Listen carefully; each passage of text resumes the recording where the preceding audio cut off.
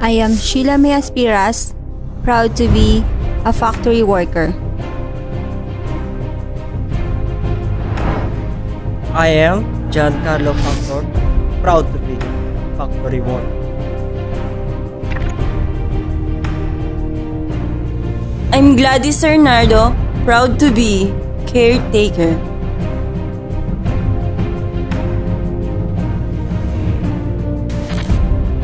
I am Dan Mark Lingatong. I am proud to be factory worker.